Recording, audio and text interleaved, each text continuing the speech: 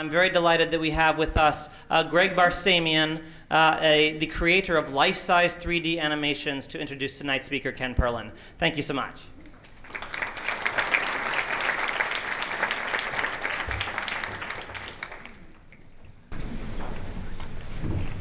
I have a confession to make. I don't know quite how to say this, but I was a very mediocre math student in school. and in, you know, I, th- maybe that's why I became a sculptor. And yet, in my work, I use math all the time. And I couldn't do it without it.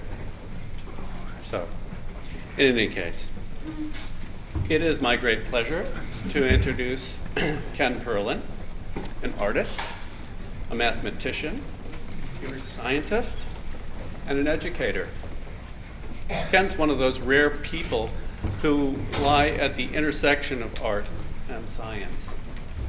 The right brain and the left brain, the conscious and the unconscious. He's an innately curious person. Can you speak in the mic, please? Sorry? Is that better? There we go. He's an innately curious person, forever observing and analyzing the world around him. He casts a wide net, taking in and integrating a wide variety of interests. You've only to look at his blog to realize that uh, this is a person whose eyes are wide open. Ken has a unique talent of visualizing mathematical representations of things. I was struck in our conversation by how fluidly he straddles the mathematical and visual worlds. For me, what seems to be, and what seems to be the majority of us, these worlds have always been divided. Math was an abstract exercise to be memorized and applied to specific tasks. For Ken, it's a palette a palette of descriptive terms which he uses to construct images. Ken's imagination supplies the artistic vision. His facility with computer language allows him to realize these visions. His talents provide a timely and unique opportunity to exploit the newly minted abilities of our digital age.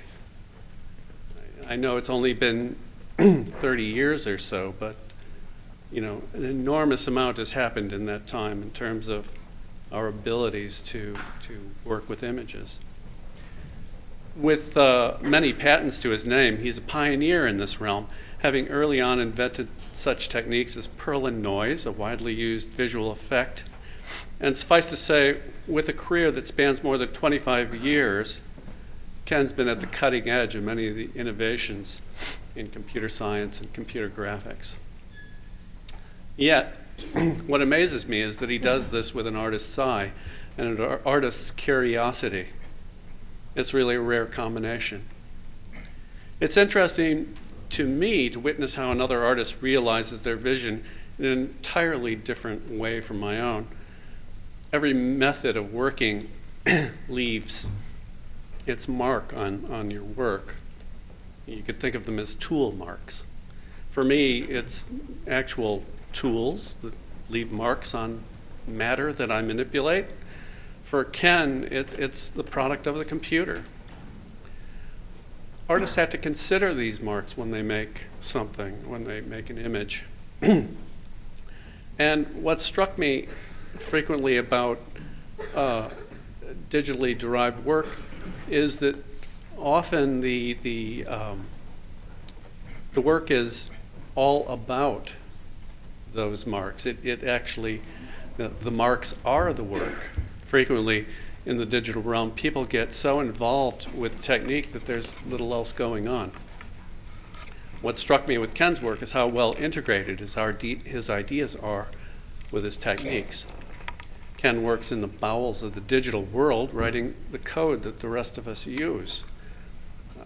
Personally, I find it hard to even comprehend what he does or his level of understanding. As an educator, he's the founding director of Media Research Lab at NYU, where they investigate the latest developments in computer graphics, geometric modeling, simulation, machine learning, computer vision, robotics, computer interfaces, human movement and motion capture. He also directs the NYU Games for Learning Institute, where the science of learning through digital means is investigated and developed. And this is an incredibly important area. He has received prestigious awards such as the 2008 ACM SIGGRAPH Computer Graphics Achievement Award, the NYC Mayor's Award for Excellence in Science and Technology, the Sokol Award for Outstanding Science Faculty at NYU, and a Presidential Young Investigator Award from the National Science Foundation. And he was uh, received an Academy Award in 1997 for his work in, uh, on, in uh, the science of textures used in filmmaking. I could go on. There's, he's got an amazingly large body of work, but I'm sure you're all eager to hear it from his mouth, see what he's done. And so, uh, without any further talk, I'll present you Ken Perlin.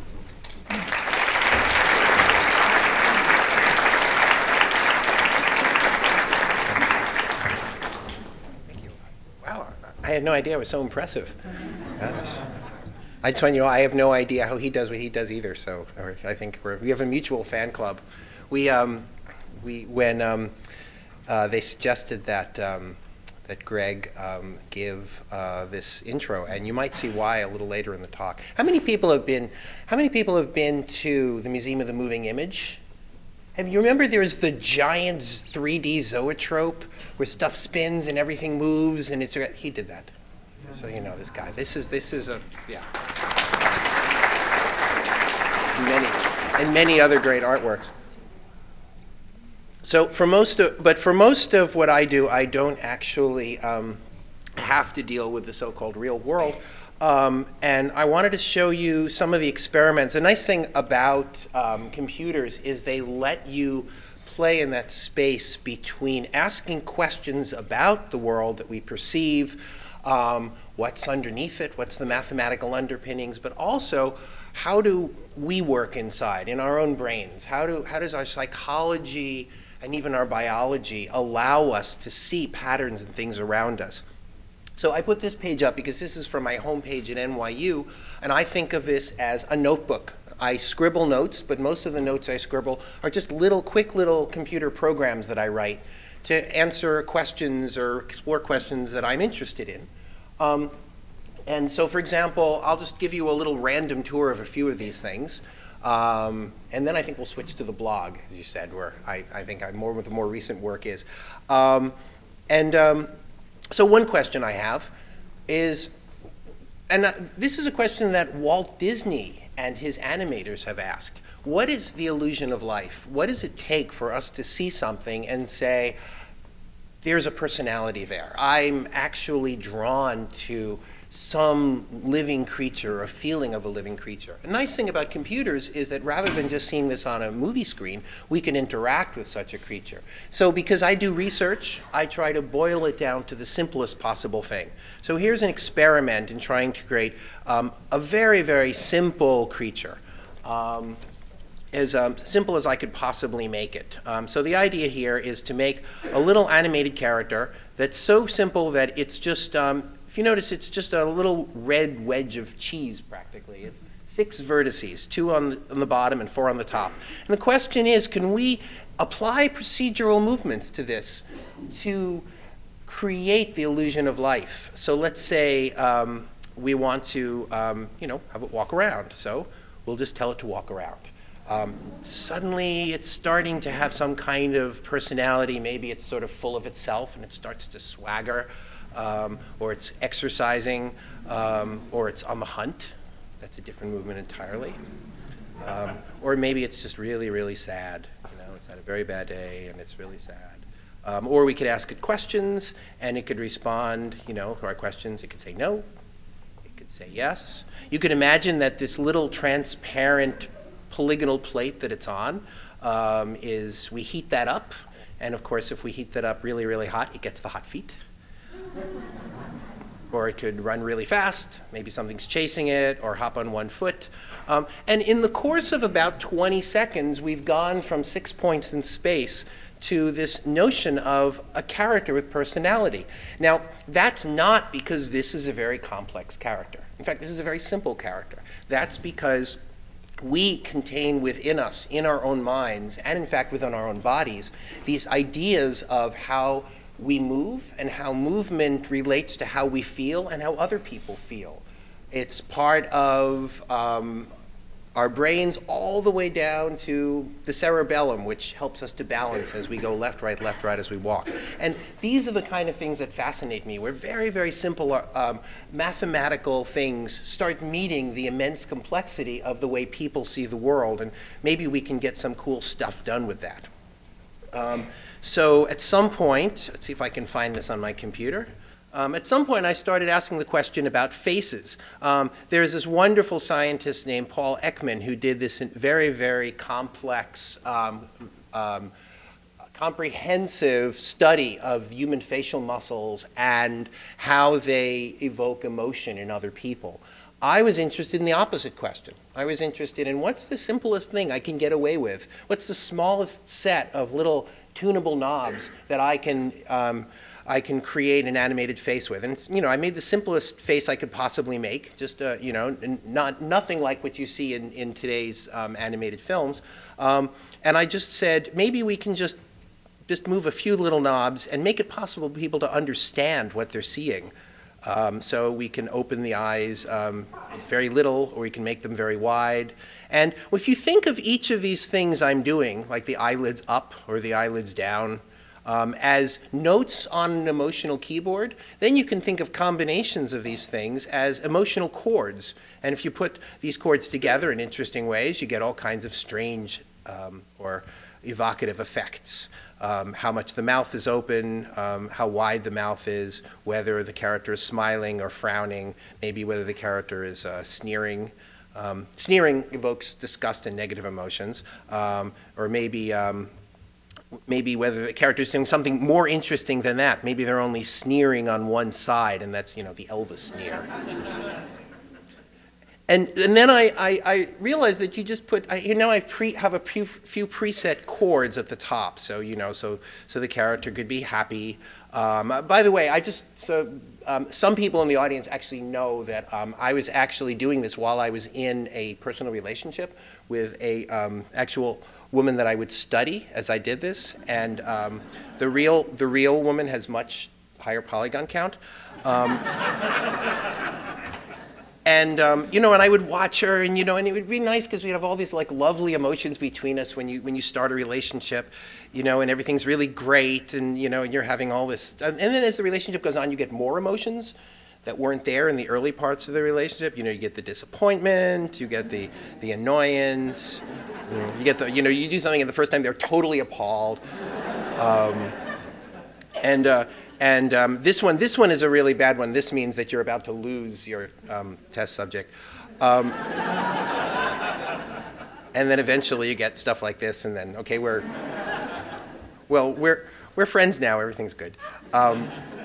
But one of the interesting things about this is how subtle little movements and variations actually make a big difference. This face seems like it's alive. It seems like it's present. But if I turn off these these um, these subtle variations, um, the textures um, that Greg was talking about, um, if I turn these off, it's just a picture.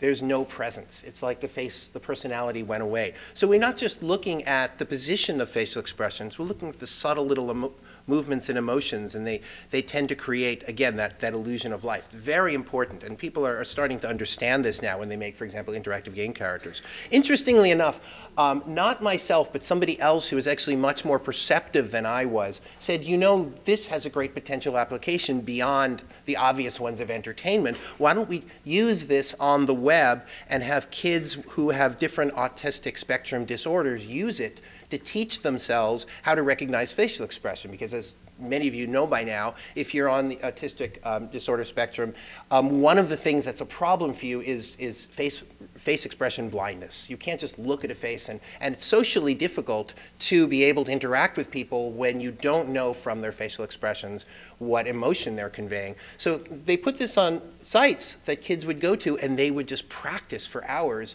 and they would learn to read because this is a very safe environment for doing that. They learn to read um, facial expressions um, and start applying it in their everyday lives. And that really inspired me because I realized if you put something out in the world, people start finding um, very, um, very practical uses for it beyond um, what you yourself might have thought of.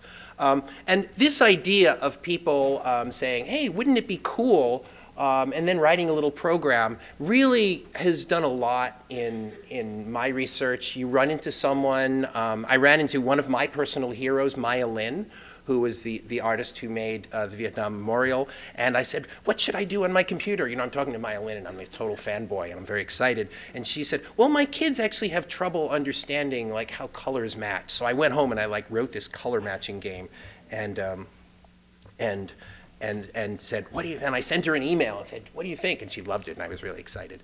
And the basic idea is that you click on these things here, and you try to get that ball to match the thing above it. Um, and also for me, this was interesting because it also taught me by trying things like this principles of what goes into um, effective game design, what makes for educational games that people are going to play, they're going to be interested in, that are, they're testing for the right things, not the wrong things. Um, I'm not doing very good here. Maybe if you had a little purple, what do you think? Oh, okay, there you go.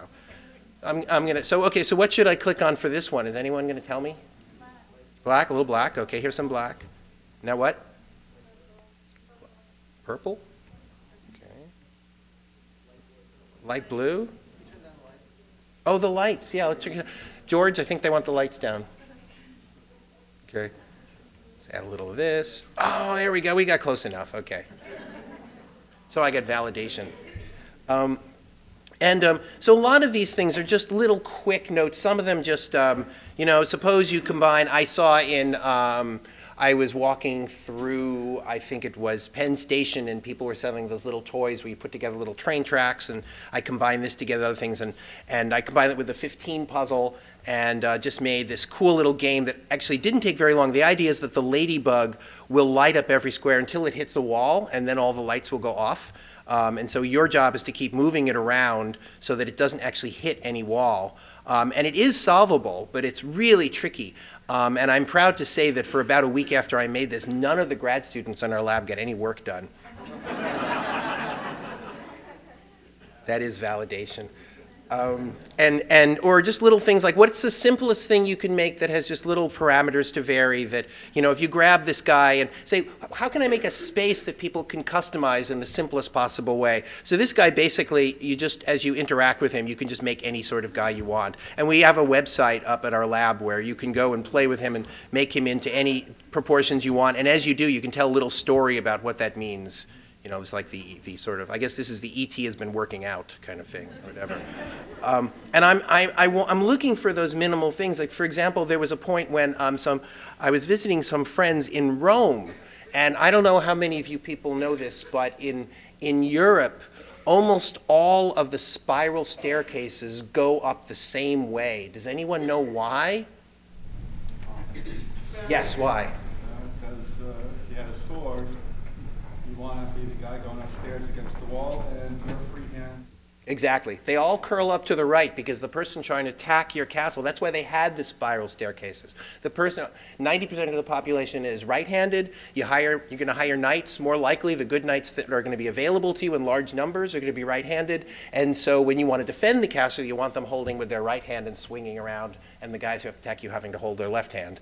And um, so so I, I, was fascinated by this idea of, the, of this, this one architectural element that, as the chemists say, is, is chiral. You know, it's different left-handed and right-handed. It's the only thing I can think of that's an architectural element that people have made in architecture that's fundamentally difference between left and right um, because of a difference between in people between left and right. Um, and but I started thinking as I was going back, if they were doing it now, they were making these things now, what would they be? And so I just, you know, I couldn't resist.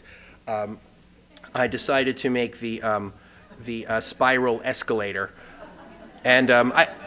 And unlike Greg, I don't actually make these things in the real world. So if anyone wants to actually build one of these things, consider these blueprints. Feel free.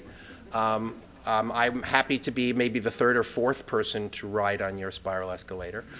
Um, but this is, uh, you know, this is the way it might work. Um, and, um, and also, uh, just to just talk a little bit about the procedural textures, um, because Greg mentioned them. The nice thing about textures that are done not by scanning images, but by creating them with um, with um, computer programs is that if you're using computer software and mathematical techniques to make textures, and you see this a lot now in films, in the Harry Potter movies and the, the Star Wars movies and the, um, and, um, the uh, Lord of the Rings movies, um, use these random techniques. I actually think the last three Star Wars movies, I think George Lucas wrote the screenplay using random techniques. Um, could, could be wrong about that. Um, they're recording this. I'm probably going to be in trouble. I'll never work in Hollywood.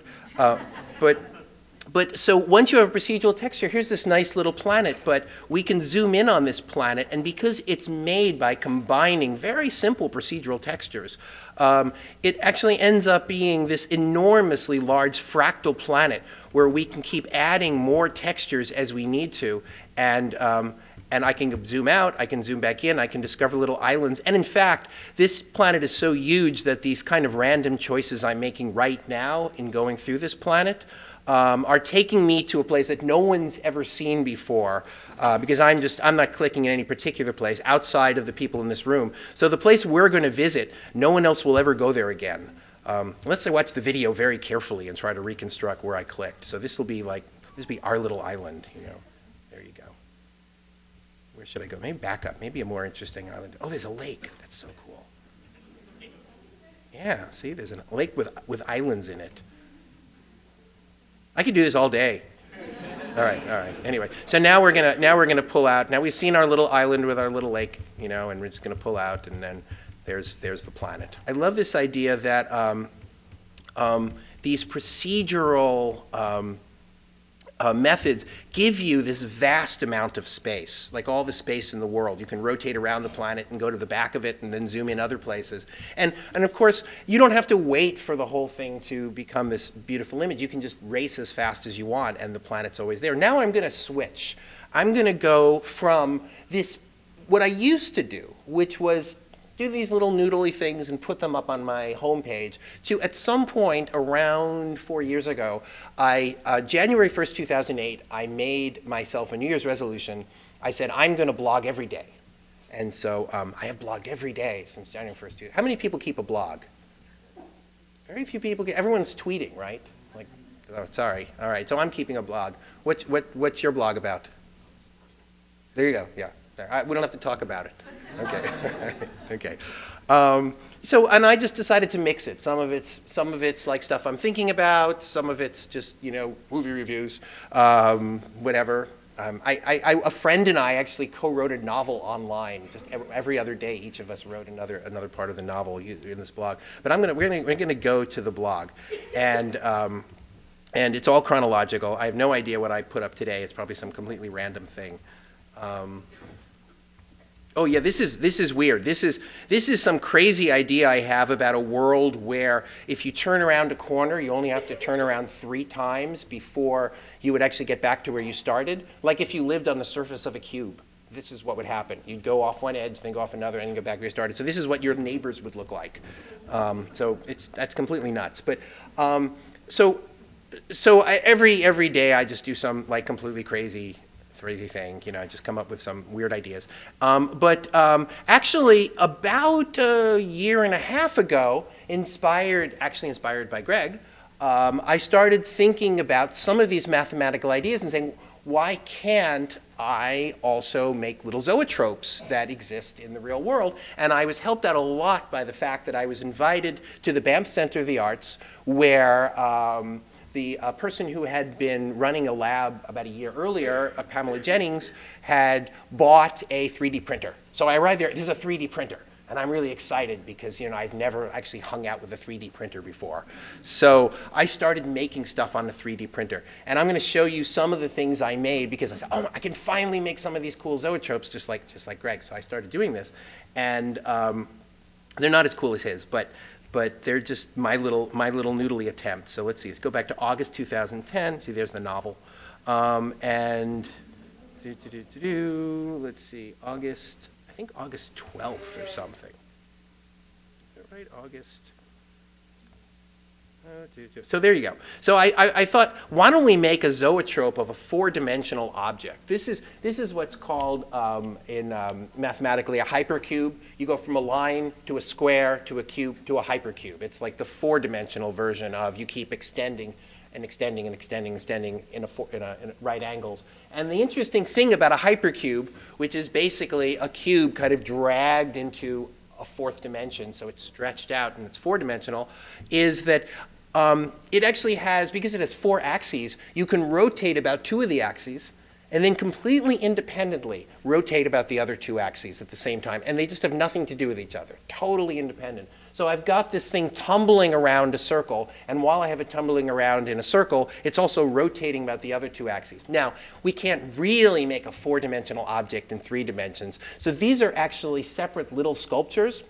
And I'm using the same trick that people who have been making zoetropes for, you know, going on 200 odd years now, have been doing, which is you make a series of sculptures around in a circle and then you move them so each one appears where the next one is. You take a picture, you move them, you take a picture, or you flash lights, but in this case I'm taking a picture. And so from every animation frame to the next one, you're actually seeing the next um, little rigid sculpture around. But because your eye wants to see things as continuous objects, you're seeing them as, as coherent objects that are all kind of morphing and changing their shape.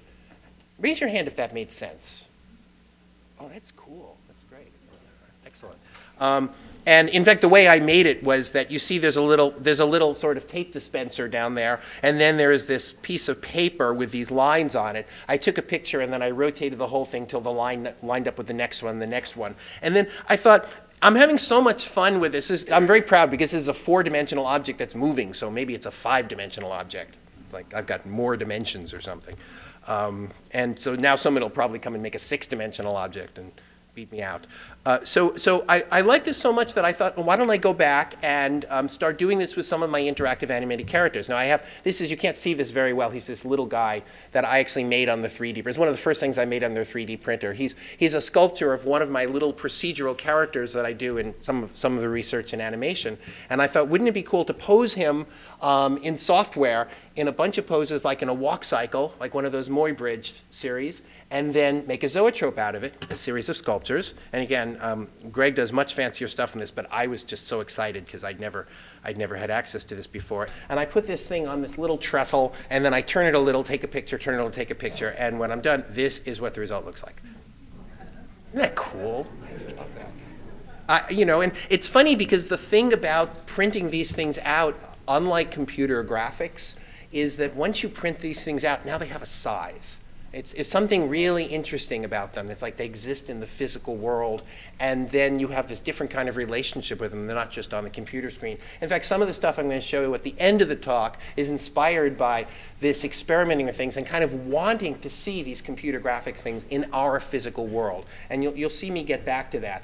Well, let's, um, let, us play around with some other ideas. Um, so let's go skip around in the blog um, to say um, about a year ago. About a year ago, I discovered um, the um, wonderful ideas of um, oh, this is cool. This is a, this is a, I made a poem out of this. This is a proof that was illustrated by, originally by, as far as I know, I learned about it from the mathematician uh, Paul Lockhart, who shows if you want to prove in a way that everybody understands very viscerally why the, the area of a triangle is half of the area of what encloses it. You basically put your triangle inside of a rectangle. You ask that question, and the trick is you just split it down the middle. Beautiful, simple ways of, like, oh, of course, I don't need to go through some kind of complex derivation. It's obvious that the area of the triangle is 1 half base times height.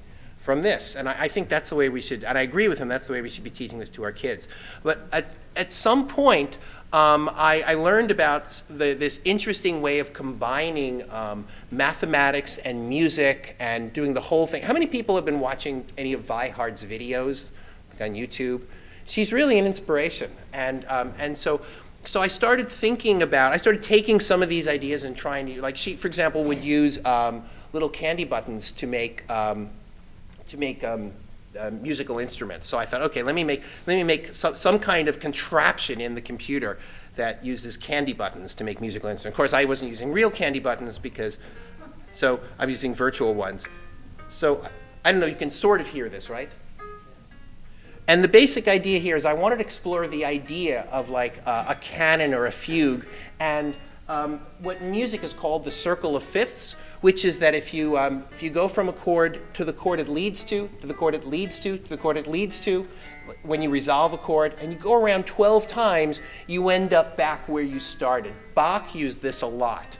Um, and here, each of these little spiral arms, like spiral arms of a galaxy, is one of these what's called a dominant seventh chord. Those of you who know music will know what I mean, and it leads to the next one and the next one. But the interesting thing about this is you can start saying, let me add more. And I can make more complex music like this with more voices. And now we have this way of visually representing the notion that here's something that sounds relatively classical, but if I want to push it more towards modern 20th century music, go around the circle of fifths and make things that start sounding like they're much more musically diverse, I just spread spread them around. Now it starts, you know, you start getting a little Thelonious Monk in there. because we've moved further around the circle of fifths and some, you know, you can just see him with his hat and stuff. And I, I and I, I, I like these ways that we can use computer graphics to say, hey, you know, we hear something, we have some understanding of there's a structure that makes something sound very dissonant and something sound much more classical, like it's a very narrow chromatic structure and then we can make an instrument and play with it. Um, and being able to do this online allows me to do things like this. So um, at some point, I started saying, okay, well, what else can we do this? What kind of mathematical or scientific principles can I turn into toys for people to play with and they can experiencing them for themselves? So um, one of the next experiments I did after this, um, back last January, I, I, said, let's take some simple ideas like attaching things with springs and make them into interactive toys. So this guy basically, he's made of springs. So if you pull on him, he kind of, you can pull on him and he sort of resists, you know, and you kind of pull like this. And it's like, okay, but he's really trying to stand up. And so as I pull on him, he kind of like is always going back to his. And one of the things that happened is I wrote this whole program and played with this guy, and he's basically trying to keep his head centered. But what I didn't realize when I was first doing it is that um, yes, he wants to keep his head centered, but I didn't actually put in anything that keeps him like upside up. So if I do this, I was completely surprised that he's perfectly happy doing that instead. And so he's posing for us now. He's very cool. Um, so so then I thought, what can we do with this idea of things being connected with springs? And then I started talking to various people in the sciences. I started talking to people who did um, molecular biology, and you know, this is actually a fun way to visualize uh, molecules. So um, now some of you will realize why that dog is named Ethel. Here, what I did was take the same notion um, same ideas, but I found online there are these great databases of actual existing molecules and um, you can go through them and basically you can sort of take these molecules and start playing with them. Um, you could even modify them. Like, yeah, this one, this will probably kill you, whatever the hell I just made.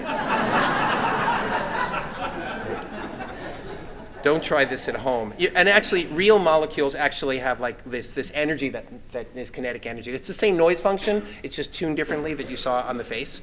Um, you can, you know, they're 3D. You can look around. So, so um, so um, that's ethanol, which is why the uh, it's actually not good for you. Which is why um, which is why it looks it looks like. Mean, it's really funny how some of them like I really love the buckyball. The buckyball is just so cool. I love the buckyball. Um, and um, and what's really interesting is that some of them, like for example, methane. Methane is just so adorable, you know. You know, it's like this little, the little, oops, the little, the little uh, molecule that could. It's funny how it, it's just so easy to make animated character, to give it a little head, you know, and it's like, oh, let me go around. Oh, look at all the writing.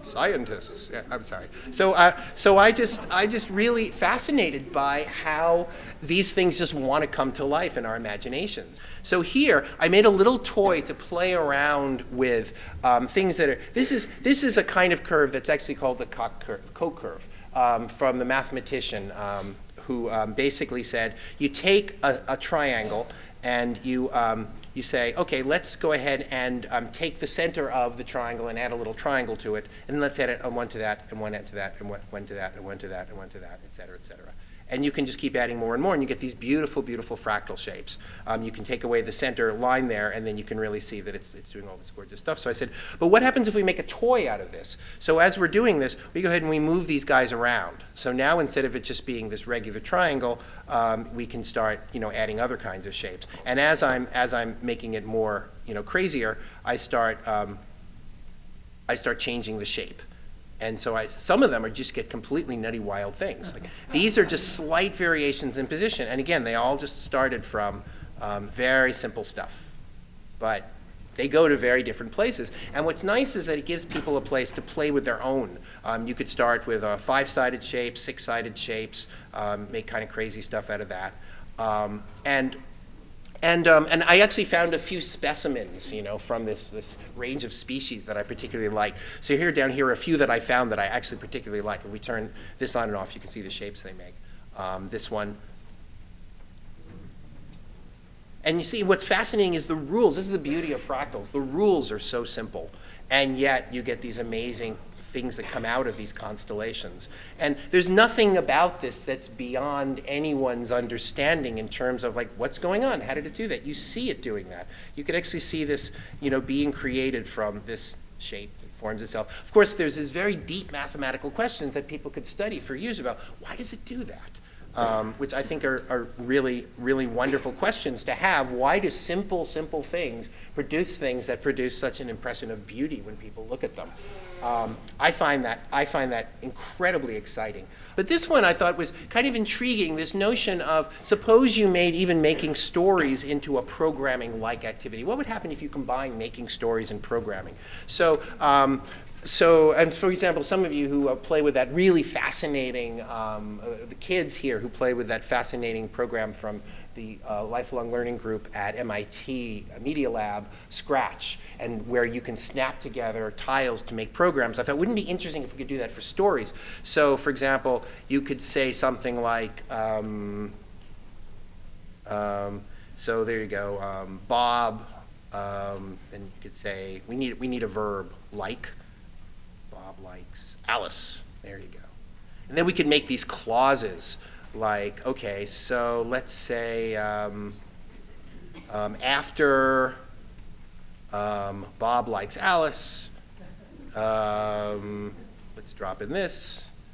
Um, let me see, they, except of course it knows that the they is Bob, so it changes to he. Let's see, meets. Oh, this is good. Carol she, you've got a highly dysfunctional story in the making. This is going to be the next, you know, romantic comedy in Hollywood. And it's really kind of cool that you can start putting together these. And wouldn't it be nice if, as you snap these things together, my dream is you snap these things together, and then you have these like intelligent characters that start reading what you're doing and they start acting it out, and you start creating stories by just giving these specifications. I think that certain people would find that more interesting than, um, than, the, than what we now think of as programming. And so it's the programmer not as um, you know Bill Gates, but it's the programmer as Jane Austen. And, and I, I think that there's something about this procedural knowledge create, uh, uh, story creation that, that needs to be worked on by someone. So if anyone wants to work on it, please come, come and talk to me. And then, um, and then one of the last things I'd like, to, I'd like to talk about before I kind of switch modes is I think that when I start thinking about trying to bring things off the screen and into our world, I start thinking about um, trying to create animated characters that respond in a way that's very evocative, that's very, um, that respond to us. And what do you need to do that? How do you tell stories with characters that know how to act out those stories in, while you're making them? So here are some experiments uh, that show some, some of these ideas. Um, this is a little toy that I put online. It's just on the blog so anybody can play it. This is actually running um, on um, it's there's a there's a there's a part of it that's running here on the computer, and then there's a part that's running. There's a, a database back at NYU where, as I'm doing this, um, I can basically be um, I'm choosing stories here, um, different stories to tell. Um, and there's there's there's 42 different stories. I, you know, it's a fish, Douglas Adams. It's an inside joke. It's hard to explain. Um, um, so long and thanks for all the fish. Um, so, so let me um, let me actually talk about about what's going on here. This is a little character that you you can see off on the left there. There are little little words with little um, either digits or letters next to them. If I hit the letter H, he gets happy.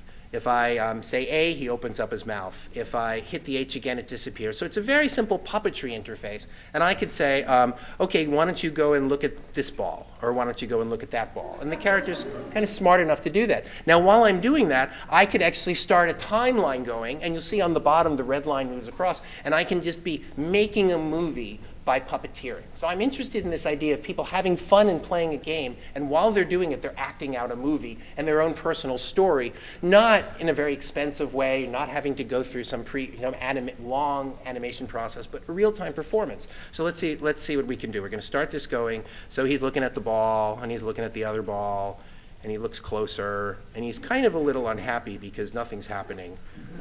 He says, "Hey, nothing's happening." I know, I'll look at the other one. Nothing's happening there. So he's kind of, meanwhile, he doesn't know that like something's going on behind him. So he turns back to this one and he's like, whoa, this is so cool. Don't you think this is cool? I think this is cool. it's just amazing. Hey, how about the other one? Let's check out the other one. Oh, no, no, no, no, no, I don't know. Circle around it this way and this way. Maybe if I look really carefully, it's going to happen.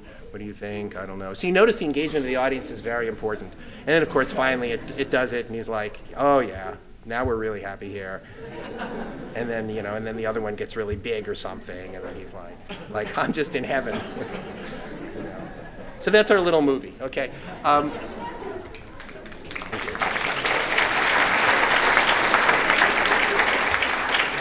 So what's interesting about this is that I can now go back and I can just tell the system to go and play that movie. And what it's going to do is play back all of my choices, except those choices were so simple because the creature himself was very smart and kind of knew what to do, that all I have to do is just look at this very simple timeline. So I can actually go back and I can say, oh, let's make the red ball bounce a little earlier, for example. Or let me go and say, I'm going to say, he's going to go, he's going to go, ooh, when he does this. We're going to add the go, go, ooh, ooh. and, and this is also, and by the way, if you were on this web page, you would see the same interface. We could be collaborating on the same story at the same time. And so I'm trying to come up with this way that it has that immediacy and fluency that you have when you're just working on, say, Google Docs together and just making words. Why can't we do this with animation? And so, so one of the problems that I come up with when I start trying to play with these things is I say, but it's still inside the computer, and I want to get it out of the computer. I want to get it into our space. Um, and so, for example, here's a um, here's a little, a, a crazy little sketch that I made. So I want to be able to have little characters that just live in our world. You know, it's like you hold out your hand and they're just sitting right there. And I'm thinking, how can we, now one day we're going to have the magic contact lenses. You know, Vernor Vinge writes about this in his book Rainbow's End that, you know, like 30 years from now, technology can get to the point we'll have the smart glasses, the contact lenses, we'll be able to see augmented reality floating between us, and it's just going to be an amazing world. And the thing that's intriguing about that world is um, when I give you a presentation now, you have to stare at something away from the person that is talking to you. When I look at a computer screen and I'm in a meeting, I'm not looking, at, I'm looking at a computer screen. When I look at one of these smartphones, um, you know, you know when you're having a conversation or something, you know, and they're doing this, you know, and it's like you can tell, and they're not interacting with you. So at least if we put the information between us, maybe we would develop modes of social discourse that would be about I'm looking at you, I'm talking to you, I'm interacting with you. We've got hardware in our brains that go back millions of years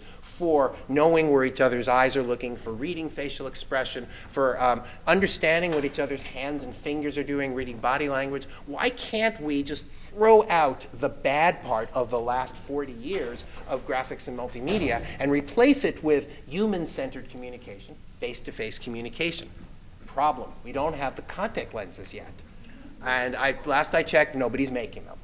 So um, instead, we're, we're compromising. We're trying to do some research uh, at the university. Um, this is actually a collaboration um, between several departments at NYU, computer science and also uh, Steinhardt School of Education, and.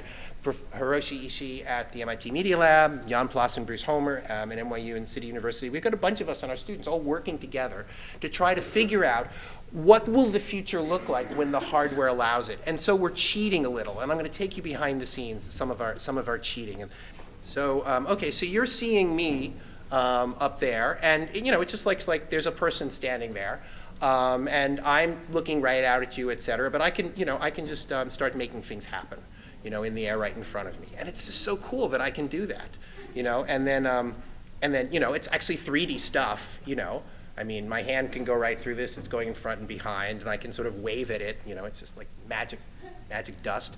Um, and then, you know, and but the thing about this is that it's smart dust, and this is what we're trying to get. We're trying to understand when we're able to do this. What's it going to feel like? You know, am I just going to be able to say, you know, I'm trying to make something in the air. I'm not very good at drawing, but I've got a computer that I can't really draw circles well, but the computer is going to help me out, and um, then, you know, that you know turns into something that that you know has some behavior, um, or let's say I want to actually interact with that. So you know maybe I did that too quickly. So I'm going to draw my bad circle. It's going to fix up, make a good circle, um, and uh, make an object out of it, and then you know. That feels so.